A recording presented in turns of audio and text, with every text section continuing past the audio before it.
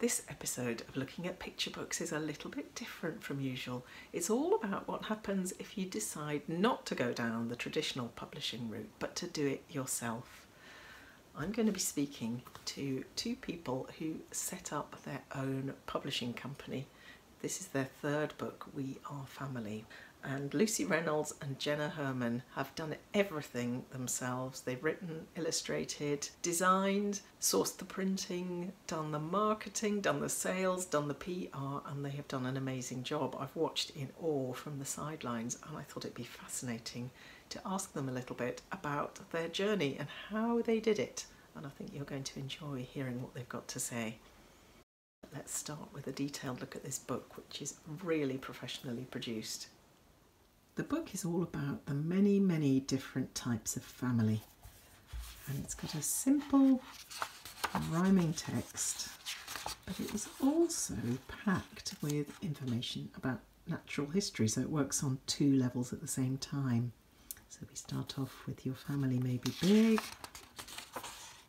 or small, and mixed in with that, you've also got information about blue whales and rabbits the artwork is beautiful with lots and lots of textures built into it.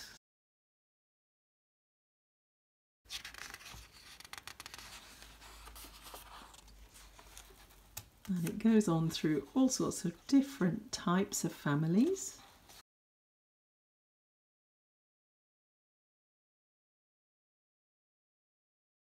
Nice page here. I didn't know this fascinating fact about black swans. A quarter of male black swans pair with other males, mating with a female simply to fertilise her eggs.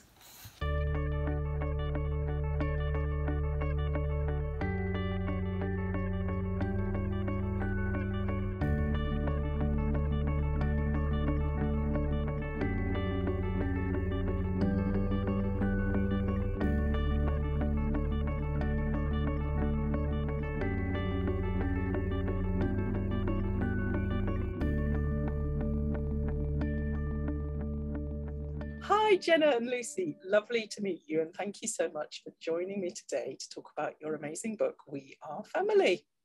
Hi. Hello, thank you so much for having us. That's my pleasure. So, do you want to start by telling me a little bit about how you came up with the idea to set up your own publishing company? Because I think this is your third book, isn't it? Lucy, do you want to start? Yes, yeah, definitely. Uh, so Jenna and I have actually been friends for over 20 years. Um, we met at university. I was studying English and Jenna fine art. And we always had this little kind of fantasy of making books together, I suppose, and combining our skills. Um, and it was when Jenna was on her first maternity leave and I was starting to rethink my career. I'd drafted a few children's stories um, and poems and showed them to Jenna. And so we thought we could make a nice book of what we had. And um, to be honest, we weren't quite sure where to go from there.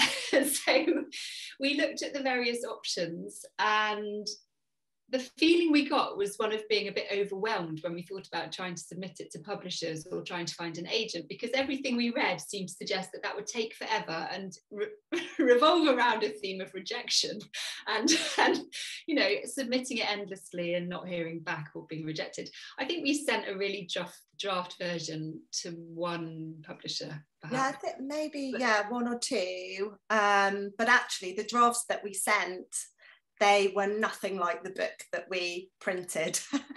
so, and we were very unsure as to what level of book to submit. Do we submit a whole book? Do we submit just, you know, a draft? Um, we were just finding our feet at that stage, weren't we? Yeah. So I think we thought, well, why don't we just try and let's see if we can do it ourselves, really. And so, without really intending to set up a publishing business, we did. and, and it was quite organic. So we you know we worked out what would be required to create a book together and to get it to the shelves. And step by step the business evolved. And um, it, it, was quite it was quite an organic journey but i think it's one that suited our partnership very well. So So, do you want to talk us through what those steps actually were? And also, it'd be really interesting to hear a little bit about how you separate out the business side of it from the creative side, because doing both at once is really a massive challenge that I can't imagine even starting to do. So, Lucy, do you want to tell us tell us the secrets? yeah, so I think step by step there are lots of factors to consider because uh, we do we divide our roles quite nicely. And I, I, guess the first thing i'd say would be that this has been such a partnership and i think both of us would say we probably couldn't do it ourselves.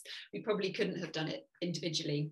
So the steps um, if we break them down so book creation. So um, we were really lucky to have input from um, people in the industry as we were creating the book so we had our story. Uh, we did invest in a professional editor to make sure that the text was really tight.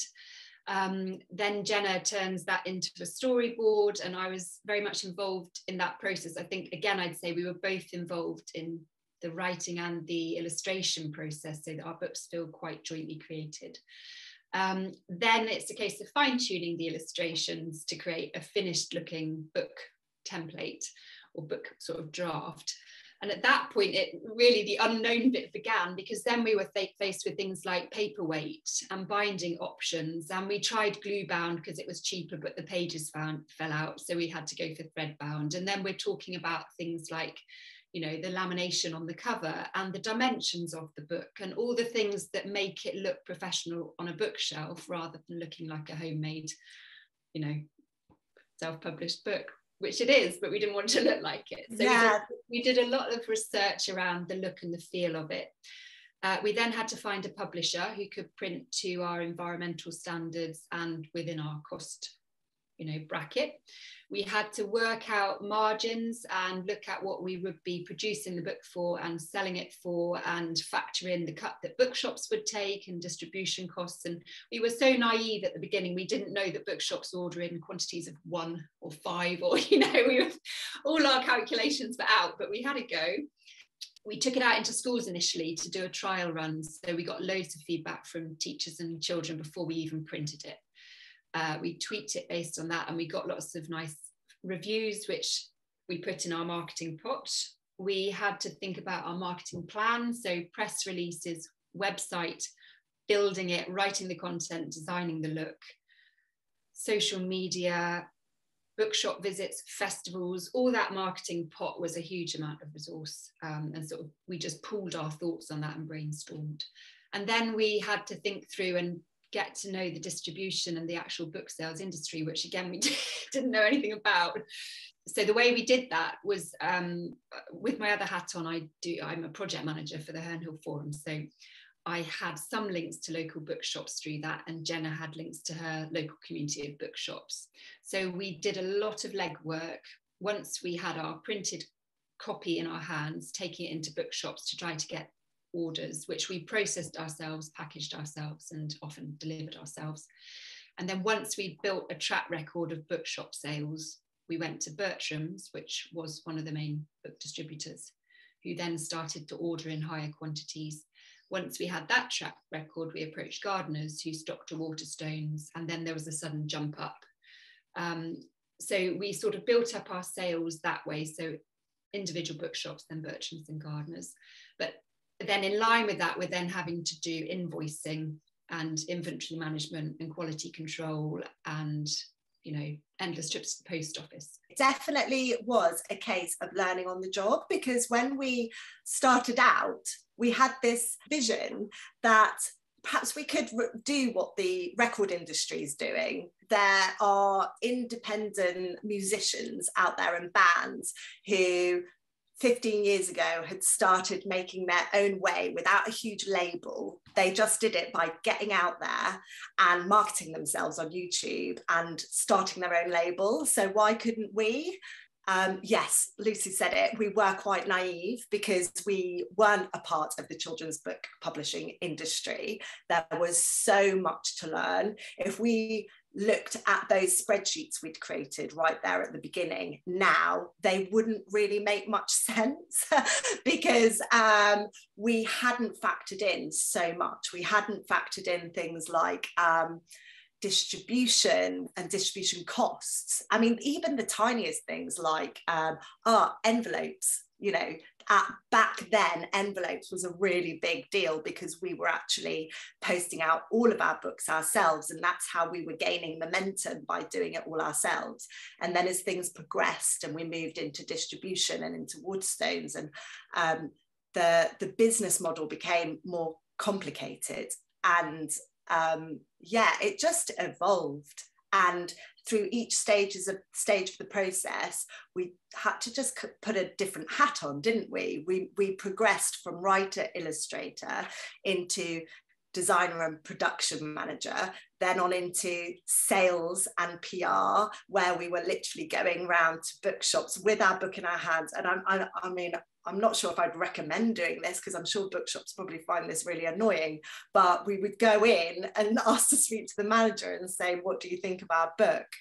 Um, but another important thing to stress is that our book had um, a lot had gone into the production of it. I think because of um, my background in magazine publishing, I felt very passionate about the fact this needed to be done properly and it needed to look like it can comp- compete with other books on the shelf. It can't just fall apart in someone's hands and last a few weeks. It needs to be really, really solid and professional. Um, and so I think that really helped with getting into bookshops because it wasn't just about the story and the illustrations. It is about does this feel like value, you know, like a good value product. I think just to add to that as well, the sort of ethos we took. So our books are lovely books for little explorers and they're nature themed, and we both have a very strong um, concern for conservation and the environment. And so from the that was woven in, and our paper is FSC and our ink stock was sort of sustain, sustainable. And when it then came to being stocked by people like Kew Gardens, where they have very rigorous production standards um, on environmental factors, that really stood us in good stead as well because it meant that doors weren't closed to us. We, you know, we were printed in the UK and um, sustainably produced. I, I, was just going to ask actually a little bit more about because you mentioned about sourcing the printer who met these um, criteria. How how did you go about finding the right printer? Well, the um, I again, I think a lot of this comes down to us working as a partnership um, between us. I think we've been able to share various contacts in the print in case in the case of printing I had a few contacts from my magazine experience and we kind of worked from there. In the end, we found um, a company that were based in the UK and probably the only people we could find who could print to our standard in colour for our budget in the UK. Um, the only thing is, it was just it is really expensive um, printing um, to a, this this kind of quantity in the UK. So we we eventually, after a few print runs in the UK, um, moved things to a printer over in Poland who have worked with some incredible publishers they um, have done some amazing books that we admire in the bookshops. And I think we were able to do that because of um, Bounce, because by this point we'd been signed by Bounce Sales and Marketing. And they had been a huge help getting us to work out these kinds of practicalities because we needed to print more and uh, the numbers had to add up. So I just wanted to ask a little bit more about the relationship with Bounce and how you mentioned being selected by them. How does that process work and what have they done with you? What's it, what's it been like working with them? So Bounce have been phenomenal. They have uh, they represent a large number of independent children's publishers. So they are specialists in representing children's publishers to the bookshop trade, and they have the largest um, team of um, sales reps. Uh, specifically for children's books in the UK. So we were so excited about the possibility of working with them it happened when we had got a couple of years in, or two or three years in, I think. And so we had a really good level of sales kind of history behind us with parrots and then our second book hedgehogs don't live in the city so in terms of how Bounce works and the relationship with them so yeah we were sort of recommended to them which then led to us setting up an initial sort of scoping meeting really where we took in copies of our book and our sales figures um, and feedback and photos and all the sort of press releases and PR stuff we'd been putting out there and gathering. We were looking and they were looking for whether there was a fit really between what we were doing in their portfolio.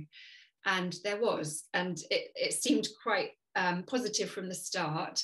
Um, so we then sort of pursued the conversation with them and it led to a contract. So they so whereas previously we were selling our books in bulk to say Gardners who then distribute them to the bookshop trade now our books are stocked in uh, Bounce's warehouse and bounce manage all of the orders that go out to bookshops and also schools through Peters and so Jenna and I still sell some books directly through our website, but most of the book sales are now handled by handled by Bounce, and they've just been amazing. They, you know, they represent us at the London Book Fair and at Bologna. They have featured us in their, you know, Book of the Month catalogue. They have helped to plug us into the more mainstream book sales channels, I suppose, and they have this marketing force. So we still do all of our own legwork and work hard on the PR and marketing front, but we now have access to all these channels that Bounce, as a very well regarded and very well established figure in the industry, hold. Amazing. And um, Jenna mentioned earlier that you hired a PR person.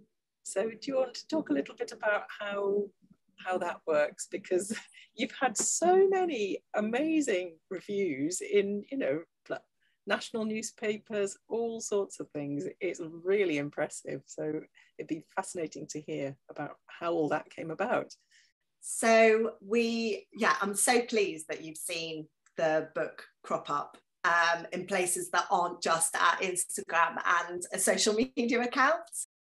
Um, this is all down to an amazing um, woman we were recommended to speak to called Antonia, we approached her, explained what we have and who we are, and were interested to know if she could help us um, get to places we haven't been able to reach before. We explained we've got a very small budget, but what could we achieve with this very small budget? And she was amazing. She said, Well, you know, I would probably be able to send copies or at least recommend that we send copies to these people.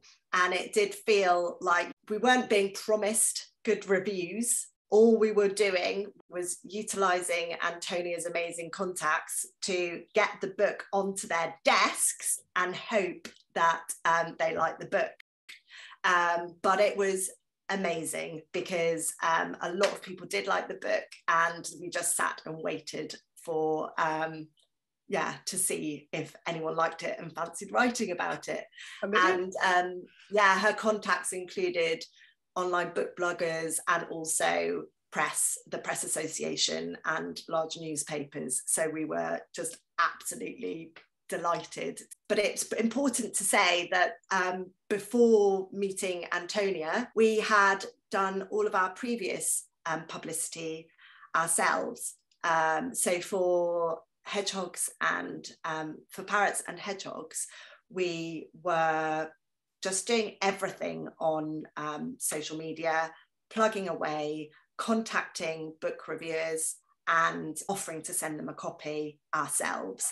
Um, and it was brilliant because so much momentum was gained um, online and through the Instagram community. It was amazing. Uh, but the thing that Antonia did was just help us um, reach another audience. Yeah, it's been really invaluable. I, I can't believe how hard you've worked on this. It's really, really impressive and such a oh, thank you. great example too. I mean, what would you say to somebody who is at this very moment watching this video and thinking, I'd really like to try doing this myself? What would be your top tip brace yourself. I think, no, I think, I mean, I don't know, Jen, if you'd agree, but I would say go for it, but don't underestimate the amount of work it will require. And, you know, a lot of this, for Jen and I, a lot of it's been done breastfeeding night shifts mm. or in between house moves or you know we've we've we have had to snatch time we've both got tiny kids and other work commitments and you know it's it's it's been a lot of work that we've squeezed in, but I think we both feel really proud of it. And I think you can do it. And, you know, I feel like if we had tried to go down the traditional publishing route of submitting manuscripts and waiting, we might still be waiting. and yeah. we actually just thought, let's give it a go. Yeah. And it can be done. And I feel like there might be more of a shift towards this, you know, I was just going to say, I think that is beginning to happen. And I think a lot more people will do this yeah. in the future. So you're really leading the way. I'd also think it's really important to stress that Lucy and I did it together as a partnership. And I don't think either one of us would have been able to do this by ourselves. I think also it's been really helpful in terms of our confidence just to egg each other on, be critical with each other, so and and help make our work better. Um, there are so many reasons why working together as a pair has been invaluable. I think I would have given up quite early on in the process, probably. I would have lost confidence and felt overwhelmed. Uh, and I think it is it's such a kind of complicated sector to break into, and there is such a high level of competition out there that you do need to feel quite sure about your USP and you know what your book is representative of and quite um yeah able to pick yourself up and keep going when it sometimes feels like you can't work out how to get in there. It's so important to be resilient whether you're doing it your way or you're doing it the traditional way. Resilience is kind of 50% of it at least i would say. Yeah. could you see yourselves in the future growing Doodles and Scribbles into a bigger publishing company that might take on other people's books?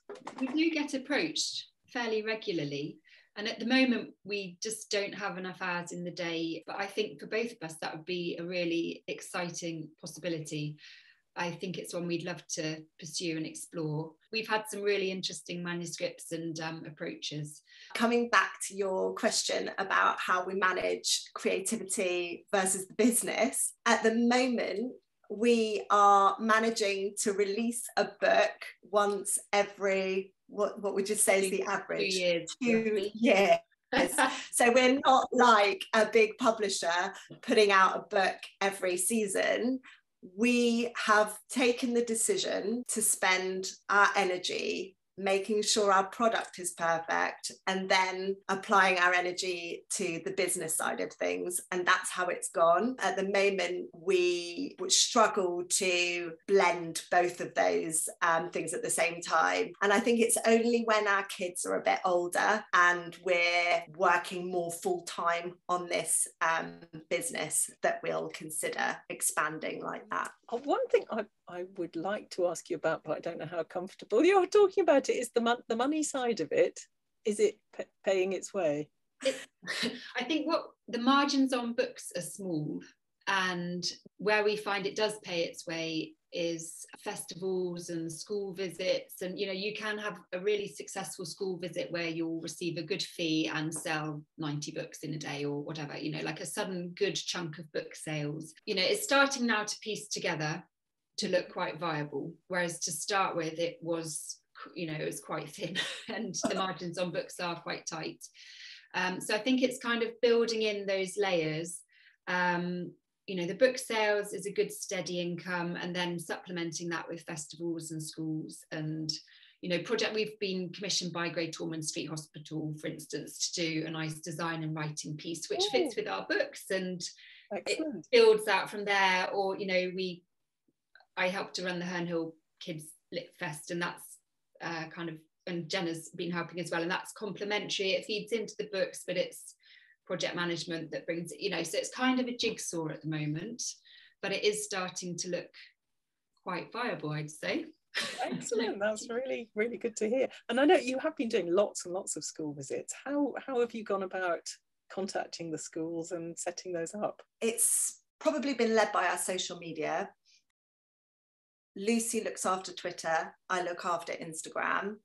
And on Instagram, um, at the moment, I'm really trying to share as much about schools as possible because we've got such an amazing educational package. And we've had some incredible feedback from our activity days that we've done in schools so far. So that's basically what I'm doing on Instagram is pushing what we've done, try to um, get word out that you know book us in your school and we can look after your kids for a whole day and they'll learn so much from us and we can tailor experiences for your school also just phoning and emailing schools and getting a foot in the door but i would say that another challenge is the fact that we are um, representing ourselves. So we just have to be ballsy and pick up the phone. Everything you're doing is so impressive. I think 99% of illustrators that I know just wouldn't quite be bold enough to do that. So I wish that I didn't have to do that because I'd, I'd love for somebody else to be phoning yeah. up a school. We've really only got this far by doing it ourselves, yeah. and I guess we've just you're, learned you're showing to... what can be done if you're determined yeah, and work at it Although, and have a good product. yeah, um, absolutely. Um, hats off to you both. From the schools and festivals type of thing, I really, really love that side of it. I absolutely love being in schools. I'd agree. There's something like, I think, particularly with We Are Family, because it's speaking to children on very varied emotional levels. Like there's there's the conservation theme and interest in animals, which the children are engaging with beautifully. But then below that, the subtext of different family scenarios and dynamics and experiences. We're finding they are receiving it really well and connecting with it emotionally in a way that we're both finding very moving and so quite often i'm actually getting quite emotional reading this book and i think it for both of us it comes from a very personal place its creation has been a very personal experience and it's layered through with emotion and it's just been amazing seeing children respond to it and connect to their own experiences and take something from it that we hope will give them a sort of that their own sense of inner resilience and validation as they go forward in life so I've just got one last question for you two, and that is what do you wish you'd known when you started?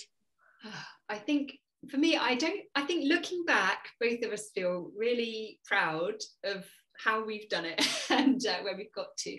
I think looking back, I'm, I'd wish that I'd had a kind of cheats guide to the book industry. So how are books sold and who, you know, we found out about Bertram's and we found out about Gardners and we found out about Bounce and we found kind of incrementally along the way. But if we had had a rough guide to how the book industry works, and the places we needed to send our book or make contact, it would have made things a lot easier. And um, it may not have changed our journey, but it may have um, made it feel less like we were quite often up against these confusing brick walls we couldn't quite penetrate. Um, exactly. So yes, yeah, like having a map for your journey. A map, yeah. exactly, a map. Yeah, that's a really good idea. I think maybe it would have been really interesting to understand the full extent of what this would involve. Because at the time, when we thought about creating and releasing a children's book, I just imagined that's what it would involve creating and releasing a children's book. I didn't really see beyond that. And in maybe it would have been very daunting knowing all of that information back then. Maybe it would have put us off. But actually, it's just added more and more layers to a very interesting career. So I really am just so impressed by what both of you have done and it's I think it's going to be really really interesting and useful for everybody watching who either is thinking about self-publishing or is traditionally published and wants to learn a little bit more about how to get your books out there because you still have to do that even if you're traditionally published. Um, I'm just wondering if there's anything else you want to talk about. I think the final thing I'd add would be a sort of sense of hope that there might be a bit of a shift in the industry towards more acceptance of books that have been independently published or self-published. Like there is still a stigma out there. You still have to kind of go self-published. And you can see them going equals rubbish. But i i hope that you know the more people do it and the more it becomes um, you know a more viable mainstream option um, the more there will be a sense that you can create your own books and go to market in a way that is of equal value and possibly of some additional value because you have kind of done it yourself. Um, it's sad at the moment, you know, some of the awards we'd like to enter, you're not able to if it's a self-published book. It, it would be nice if there was a sort of level of playing field. We can understand why, but it does feel like there is hopefully a shift towards that sense of equalization. And I think figureheads like Bounce taking a step to represent us as an independent publisher is you know that's quite a big thing for us. It, it's a badge of kind of industry acceptance in a way and hopefully that will beco- become more and more common. Um, and there will be a sense of yeah self-publishing being you know a respected option a viable one. I, I think that's the way things are going and i think you two are a really important part of that change and an example of how it can be done in a highly professional and successful way so thank, thank you both so much. much. for talking to me. Thank you so much for thank having you, me. Congratulations on the book. Thank you so much, Jane. I hope you found Jenna and Lucy as inspiring as I did. It's really impressive what they've done and so professional. So it was really good to hear all their tips and insider secrets do stay tuned for looking at picture books. I've got lots of exciting guests lined up. So make sure you subscribe to my channel. There's a button to click for that below and it's free. And I'll see you next time on Looking at Picture Books.